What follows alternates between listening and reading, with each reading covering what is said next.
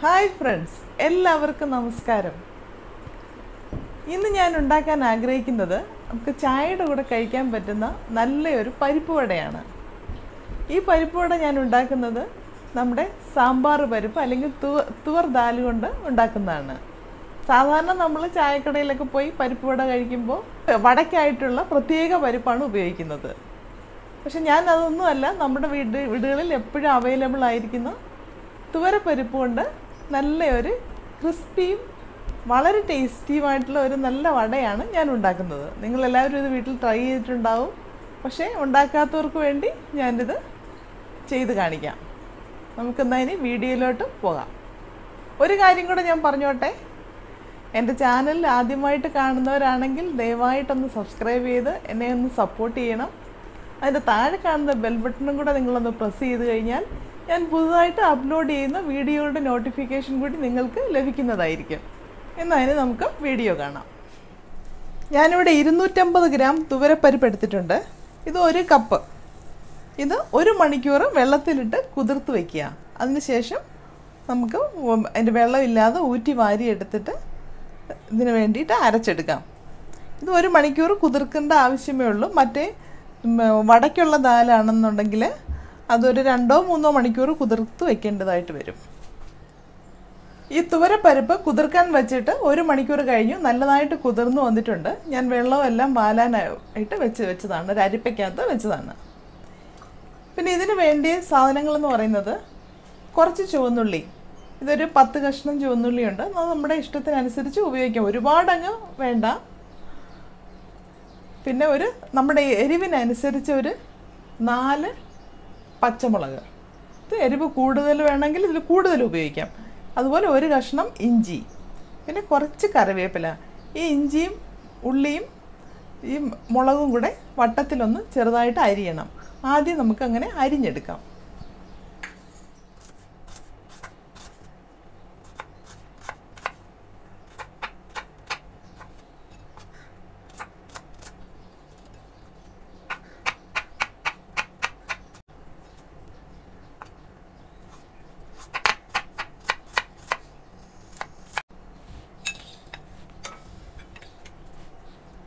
ഇത് നമുക്ക് കുറേച്ചിട്ട് അരച്ചെടുക്കാം.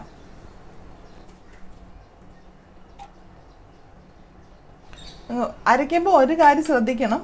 ഒരുപാട് അങ്ങ് അരയ്ക്കരുത്.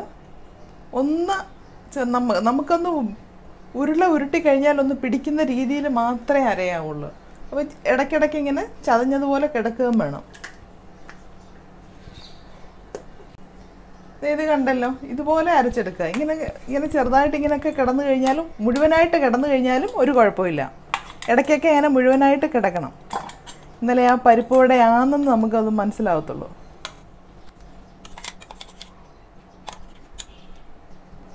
ഇനി അടുത്തതും ഇതുപോലെ തന്നെ അരച്ചെടുക്കാം.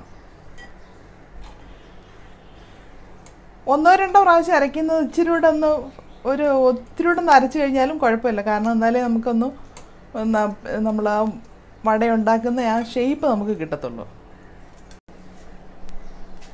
ഇപ്പം ഞാൻ ഒരല്പം കൂടെ ഒന്ന് അരച്ചെടുത്തിട്ടുണ്ട്. നേരത്തത് ഞാൻ ഇത്തിരി കൂടെ ഇത് ഇത്രയും അരഞ്ഞിട്ടില്ലായിരുന്നു. ഇതുപോലെ ഒന്നോ രണ്ടോ പ്രാവശ്യം അരയ്ക്കുന്നത് ഒന്ന് ഇതുപോലെ ഒന്ന് അരച്ചെടുക്കുക. ബാക്കിയെല്ലാം ഒന്ന് ചെറുതായിട്ടൊന്ന് ചതച്ചെടുക്കുക.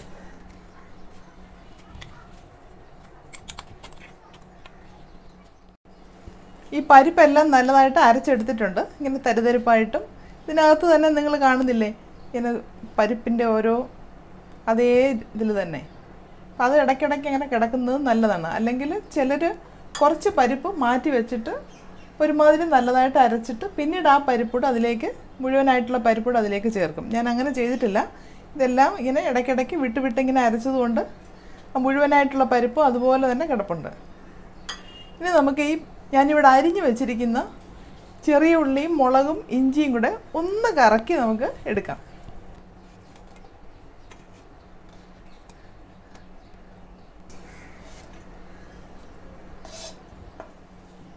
ഞാൻ ആ ഇഞ്ചിയും ചുവന്നുള്ളിയും മുളകും കൂടെ ഒന്ന് കറക്കിയിട്ട് എടുത്തിട്ടുണ്ട്. ഇത് നമുക്ക് ഇതിലേക്ക് ചേർത്ത് കൊടുക്കാം.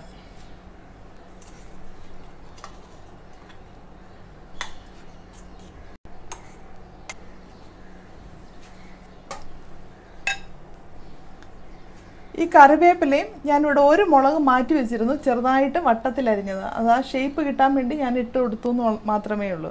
അപ്പോൾ ഇതുപോലെയുള്ളെങ്കിൽ കറിവേപ്പില നമുക്ക് ഈ മുളകും ഇതിലേക്ക് ഇട്ട് കൊടുക്കാം.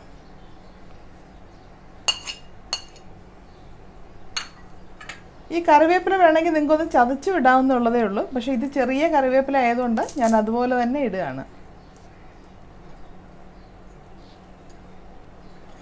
ഇനി അല്പം ഉപ്പും കൂടെ ഇതിന് ആവശ്യമുള്ള ഉപ്പും കൂടെ ചേർത്തൊന്ന് മിക്സ് ചെയ്യണം.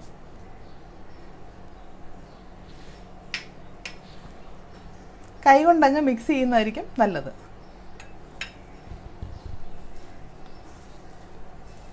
ഇത് വളരെ ഈസിയാണ് ഉണ്ടാക്കാൻ പെട്ടെന്ന് ഉണ്ടാക്കാൻ പറ്റുന്ന ഒരു റെസിപ്പിയാണിത്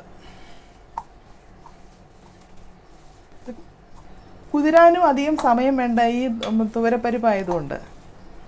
നല്ലതായിട്ട് ഇളക്കിയിട്ട് ഉപ്പ് നോക്കുക. ഉപ്പ് വേണം കൂടുതൽ വേണമെന്നുണ്ടെങ്കിൽ കൂടുതൽ ചേർത്ത് കൊടുക്കുക. അതുപോലെ നിങ്ങൾക്ക് എരിവൊക്കെ കൂടുതൽ വേണമെന്നുണ്ടെങ്കിൽ കൂടുതൽ ചേർത്ത് കൊടുക്കാം വേണമെങ്കിൽ ഒരു അല്പം കായപ്പൊടിയും കൂടെ വേണമെങ്കിലും ഇതിലേക്ക് ചേർത്ത് കൊടുക്കാം.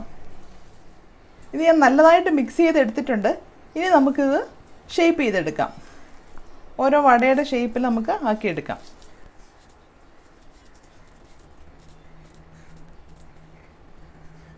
ഈ കയ്യിൽ ഇങ്ങനെ ഒന്ന് വെച്ചുകൊണ്ട് ഒന്ന് ഇതുപോലെ ഒന്ന് ഷേപ്പ് ചെയ്യാം.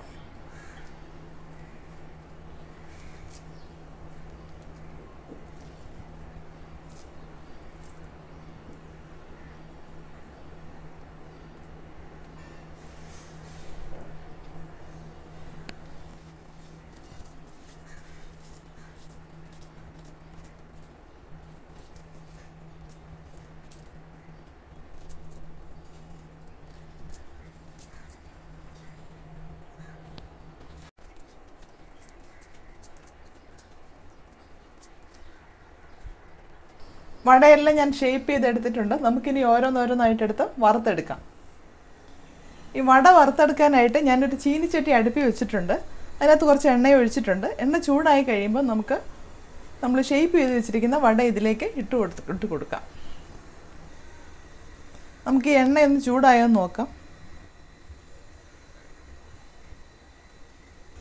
ആ ഇപ്പോൾ എണ്ണ ഈ ചൂടായിട്ടുണ്ട്. നല്ലതായിട്ട് എണ്ണ ചൂടായതിന് ശേഷം വട ഇതിനകത്തേക്ക് ഇട്ടതിന് ശേഷം തീ ഒന്ന് മീഡിയം തീയിൽ വെക്കുക. നമുക്ക് ഈ വട ഇട്ട് കൊടുക്കാം.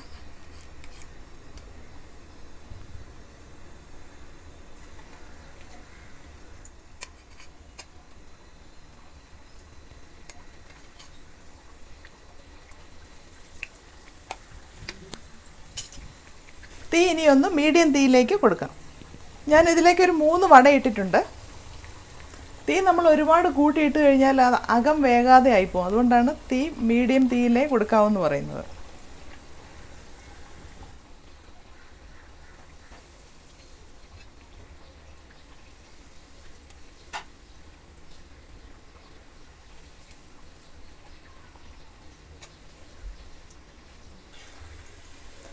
നമ്മുടെ വടയെല്ലാം നല്ലതായിട്ട് മൂത്ത് വന്നിട്ടുണ്ട്. നമുക്കിനി ഇത് കോരി മാറ്റാം.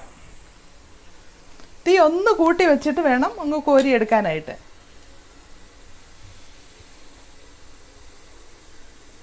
അപ്പോൾ എണ്ണയെല്ലാം ഈ വടയിൽ നിന്ന് വാർന്നു പോകും. ഇതുപോലെ ബാക്കിയുള്ള വടകൾ നമുക്ക് വറുത്തെടുക്കാം. അങ്ങനെ നമ്മളുടെ സൂപ്പർ ടേസ്റ്റിയായ പരിപ്പ് വട റെഡിയായി. നിങ്ങളെല്ലാവരും കണ്ടല്ലോ ഞാൻ എന്ത് ഈസി ആയിട്ടാണ് ഈ പരിപ്പ് വട ഉണ്ടാക്കിയതെന്ന്. ചായയുടെ കൂടെ ഒരു പരിപ്പ് വടയുണ്ടെങ്കിൽ പിന്നെ പറയുകയും വേണ്ട. അത്രയ്ക്ക് നല്ലതാണ്. അതിന്റെ ഒരു രുചി വേറെ ഒന്ന് തന്നെയാണ്. നിങ്ങളെല്ലാവരും ഇത് വീട്ടിൽ ട്രൈ ചെയ്ത് നോക്കണം. അതുപോലെ ഞാൻ ഈ ഉണ്ടാക്കിയിരിക്കുന്നത് ഞാൻ നേരത്തെ പറഞ്ഞില്ലേ ഇത് തൂരപ്പരിപ്പാണ് ഞാൻ ഇതിനകത്ത് ഉപയോഗിച്ചിരിക്കുന്നത് നമ്മുടെ സാമ്പാർ പരിപ്പ്. ഇതിപ്പോൾ അതാകുമ്പോൾ എല്ലാവരുടെ വീടുകളിലുണ്ടല്ലോ. വളരെ ടേസ്റ്റിയാണ് ഈ വട. നിങ്ങളെല്ലാവരും ഇത് ഉണ്ടാക്കി നോക്കണം. അതുപോലെ നല്ലൊരു റെസിപ്പിയുമായിട്ട് അടുത്ത എപ്പിസോഡിൽ നമുക്ക് വീണ്ടും കാണാം. എന്റെ ചാനൽ നിങ്ങൾ ഒന്ന് ഷെയർ ചെയ്യാനും കൂടെ ഒന്ന് ഓർത്തേക്കണം. Thank you for watching my video